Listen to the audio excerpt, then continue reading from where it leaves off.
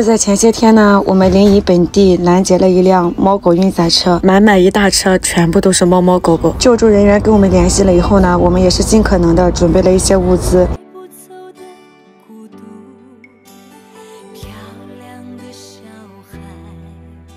在整个救助行动当中，我们本地的相关部门呀就已经插手了，所以这次救助还是比较顺利的。只不过对于后续的安置遇到了很大的麻烦。去之前我已经做好了心理准备，但是当我真实的看到那么多毛孩子的时候，还是没有忍住。这可都是一条条鲜活的生命啊！参与救助的人员呢，很多都是大学生志愿者，他们在课余时间就会过来帮忙。而这些毛孩子呢，以前应该都是有爸爸妈妈的，他们的性格都特别的好，特别粘人。还有一只小猫咪生了宝宝，当了妈妈。这个狗狗比较特殊，它是所有救助的狗狗当中个子最大的一个了。也是因为它个子比较大，塞不进去那个狭小的笼子，所以那些贩子呀就把它的腿给打折了。它胆子非常的小，不让人触碰它，所以我们就用笼子把它带回了家。我们决定带它。回去治病领养它。回去的时候呢，要全方面的消毒，这一点我们也是比较注意的，因为毕竟我家狗狗比较多。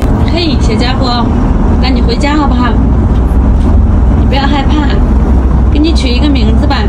以后就叫长生。现在这个救助基地呢，不需要大家的捐助，物资目前也是够用的。我们只希望，如果你正好想养一只狗狗或者猫咪的话，可以先来这里看一下。目前唯一的诉求就是给这些毛孩子找到一个家，不一定非得要给他们多么优渥的生活，只要是真心爱他们就够了。